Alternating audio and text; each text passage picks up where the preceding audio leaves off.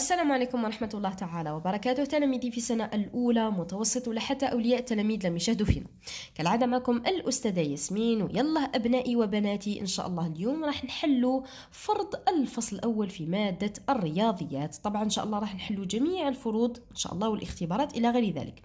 لكن برك باش نقول لكم دوما الأساتذة كاين نوعان. كاين اللي يحب يبدأ الفروض تاعو قبل عطلة الخريف هذيك تاع خمس أيام كاين اللي يحب يبدأها مور. اذا سواء قلنا هكذا أم هكذا أنا نكون إن شاء الله واجد 100% كيفاش لازم نكون واجد؟ لازم قبل يعني درت لكم ملخص تاع الدروس اللي يطيح لي في الفرض ويعني وجدتكم كاملة. اذا يلا أبنائي نقرأ الملخص تاعي نفهم الدروس ونحل قد ما قدرت من النماذج تاع الفروض وإن شاء الله نكون واجد باش نتحصل على علامات ممتازة. اذا يلا نبدأ بالتمرين الأول وش يقول لي أتمم الجدول الاتي مستندا إلى السطر الأول منه.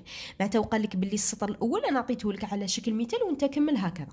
اذا شوفوا كيما 23.65 نكتبها عبارة عن 23 واللي مور الفاصلة شوفوا الأول اللي مور الفاصلة كتبتو على 10 واللي جاي موراه تماما كتبتو على 100 شوفوا 6 على 10 زائد 5 على 100 مفهوم؟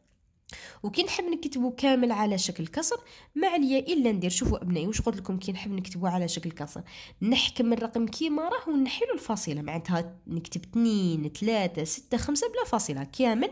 ونشوف شحال عندي الأعداد ما الأرقام شحال عندي مول الفاصلة. 2 اذا 1 2 اذا نكتب 1 2 صفر شحال عندي؟ زوج. لأنه عندي زوج أرقام بعد الفاصلة وطبعا لا أنسى الواحد. اذا قال لك كيما شفت هذا المثال كمل لي انت 4.143 بهذا الشكل. كمل لي 2023 على 100 بهذا الشكل. وكمل لي 7 زائد 4 على 10 زائد 5 على 1000 بهذا الشكل. مفهوم؟ سهلة وبسيطة. يعني مادام أعطاني مثال راهو نقص عليا التعب كثير. يلا أكمل ما يلي. اللي موراه شو يقول لي تسعة فاصل تلاتمائة وستة وثمانون فاش ضربتها باش تولات لي تلاتة وتسعين فاصل ستة وثمانين.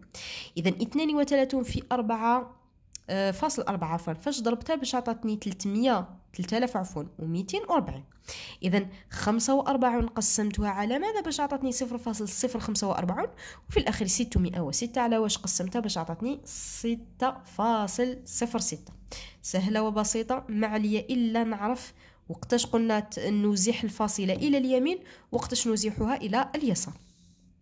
السؤال اللي بعده رتب الأعداد التالية ترتيبا تنازليا. وشو معناتها تنازليا؟ يعني نازل في الدروج معناتها من الأكبر إلى الأصغر. عندي 175.5 15.07 15.70 15.77 157.05 تلاحظوا بلي دائما يعطوكم نفس الأرقام باش هكذا زعما يحبوا يخلطوها لكم. حذاري ما نغلط حتى حاجة. من الكبير للصغير ودوما نبدأ من اليسار إلى اليمين. حذاري نبدأ. كما اللغة العربية. اللي بعده قارن بين الأعداد التالية. كيقول لي قارن معناتها هي نعطي له أكبر أو أصغر أو يساوي. مفهوم هذا؟ هو المقارنة. ثلاثة عشر فاصل خمسون و 13.05 شكون هما الكبير؟ بيناتهم الكبير ولا الصغير ولا متساويين؟ 9.12 و 9.2 صفر فاصل خمسة و صفر فاصل خمسين. إذا هذا كامل بالنسبة للتمرين الأول. نمر للتمرين الثاني وش يقول لي؟ بين باللي مادام عطاني جبر راح يعطيني أيضا هندسة. أرسم مستقيما دي. ثم عين عليه النقطتين A و B بحيث AB المسافة بيناتهم تساوي 6.5 سنتيمتر. أطوال لازم تكون حقيقية. دايما قلم رصاص المسطرة معكم دايما الدوزان تاع الرسم دايما معكم. ثانيا عين النقطة O تنتمي إلى AB هذيك القطعة بحيث المسافة من B لل O هي 2.5 سنتيمتر. ثالثا أرسم الدائرة هنا لازم نسحق مدور سي مركزها أو ونصف قطرها أو. أرسم مستقيما D عمودي على D يعني D على المستقيم هذا. عمودي على المستقيم الأول اللي رسمناه. حذاري هذه D كبيرة وهذه d صغيرة. majuscule minuscule في النقطة O. عين K نقطة تقاطع D مع الدائرة C. وفي الأخير ما نوع المثلث اللي خرج لي ك أو بي. شوفوا في الهندسة واش أبنائي ننصحكم نصيحة. مع الأول نقرأ كامل التمرين تاع الهندسة. ومن بعد كي نجي نرسم ونسمي بسم الله نبدا واحد بواحد. ما نبداش نصوتي ونتبانيكا ونبدا نخلط. لا في الهندسة نبدا نقرأ سطر بسطر باش هكذا الرسم تاعي تكون صحيح والعلامة تاعي تكون تفرح. اذا يلا أبنائي هذا واش عندي في الفرد؟ نبدأ التصحيح مع بعض. اذا نسمو بسم الله ونبداو بالتمرين الأول. دائما شوفوا. دونك هما واش عطاوني؟ اذا الأبناء باش ما يتخلطوليش نشوف واش عطاوني.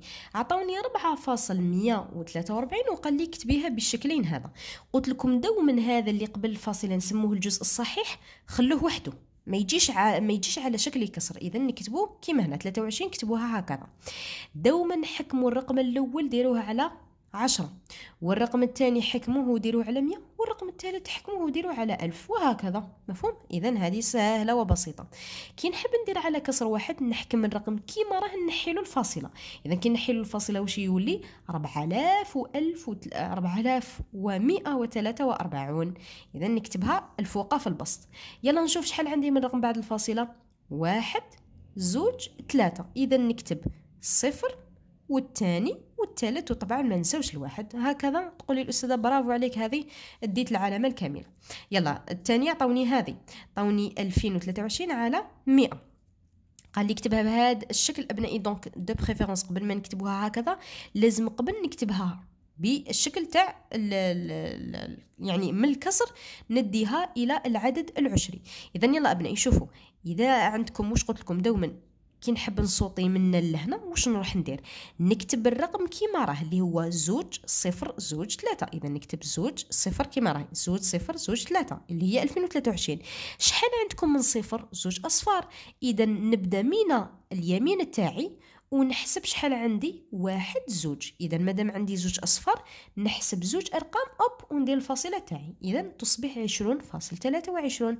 هنا نقدر نروح لهذه. مستحيل أبنائي تروحوا هكا. لازم قبل نكتب العدد العشري باش نكتب هذا الشكل.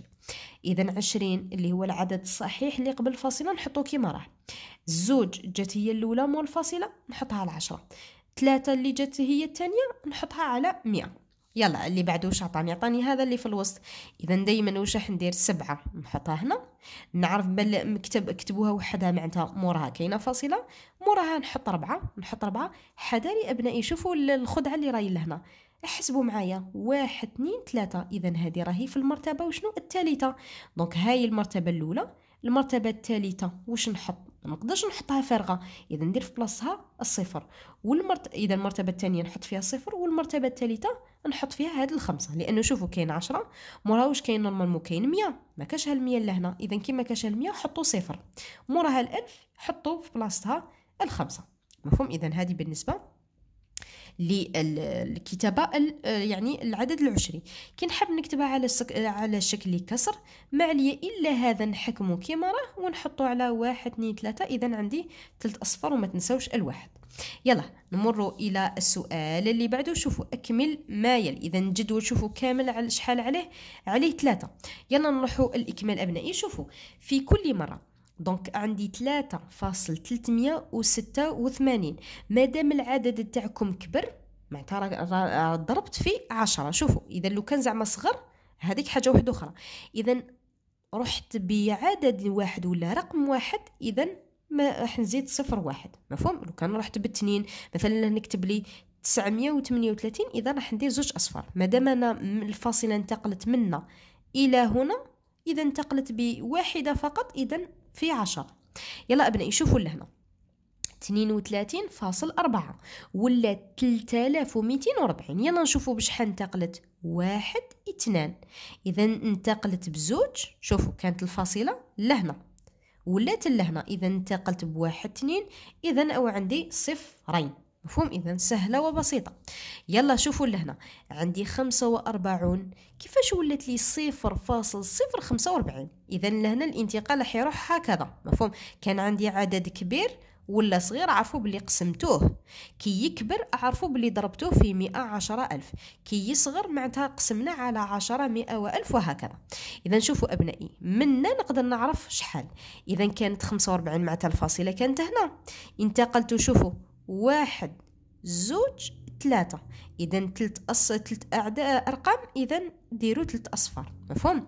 إذا نفس الشيء كانت ستمية وستة ولات ستة فاصل صفر ستة إذا الفاصلة وين كانت؟ كانت هنا في الأخير معناتها هنا. انتقلت واحد زوج.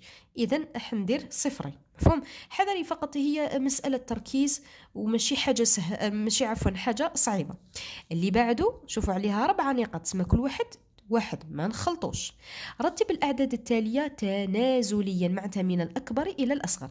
اذا شوفوا شوفوا هذه اللي فيها 15 خلوها هي الأخرى معناتها 15 هم صغار بزاف. الهضرة وين؟ راهي مع هذا ومع هذا. شكون كبيرة؟ 175 ولا 157 يقول الاستاذ طبعا شوفوا هذا عنده واحد هذا عنده واحد هذا خمسة ومن بعد هذا سبعة. شكون كبيرة؟ سبعة كبيرة على الخمسة. إذا نحطه هو الأول. ومن بعد شكون الثاني؟ هو طبعا. إذا نحطه هو الثاني. donc هنا أبنائي غلطوا. okay؟ هكذا.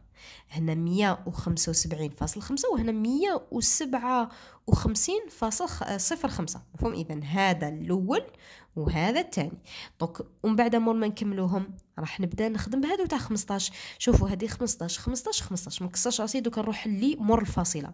هذه 0 7 وهذه 70 وهذه 77 شكون الأولى؟ باينه بلي 77 هي الكبيرة.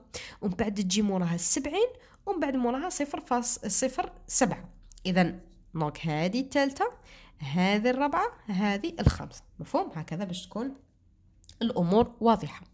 اللي بعده قال لي قارن الأعداد ولا بين الأعداد. اذا شوفوا 13.50 و 0.5 شوفوا كاين 13 كاين 13 مور الفاصله عندي خمسة ومور الفاصله هذا عندي صفر. شكون تغلب الخمسة ولا الصفر استاذه الخمسة تغلب دوما نعطيها الكبير. شوفوا كي يكون رقم لهنا في الفتحة كبيرة هذا كبير.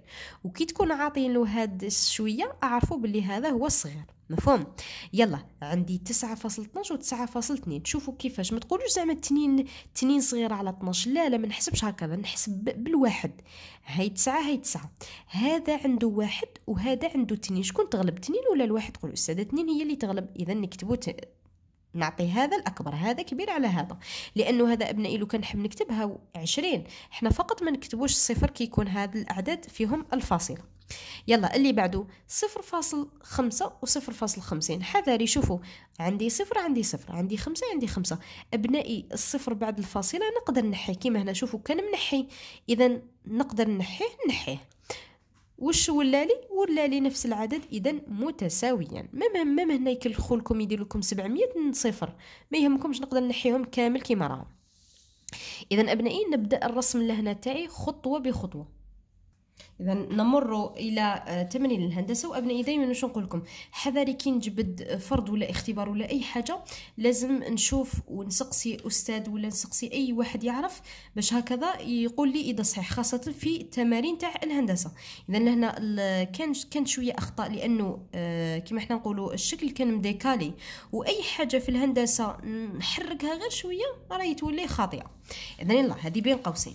نشوفوا أرسم دي دي صغير مستقيم دي. وعين عليه أو بي بحيث المسافة بيناتهم بالأو بي هي ستة سنتيمتر. إذا أطوال ماهيش حقيقية نتوما لازم ترسموها حقيقية. إذا voilà نحكم المسطرة تاعي ونرسم المستقيم D. من ما يهمنيش شحال الطول تاعو. إذا بين ال A وال B ندير ستة فاصل خمسة سنتيمتر. يلا نبدأها بال A و B ولا B A كيف كيف. مفهوم؟ اللي بعده عين O تنتمي إلى A B بحيث المسافة ما بين B وال O هي زوج فاصل خمسة. معناتها نشوف ال B تاعي وندير منها لل O تنين فاصل خمسة. مفهوم؟ voilà ونحط ال O تاعي. هذه الخطوة الثانية. قال لي موراها أرسم دائرة C. المركز تاعها هذاك ال O ونصف القطر ها هو B O. معناتها أبنائي كيفاش نحكم المدور تاعي؟ قلنا هادو أطوال غير حقيقية.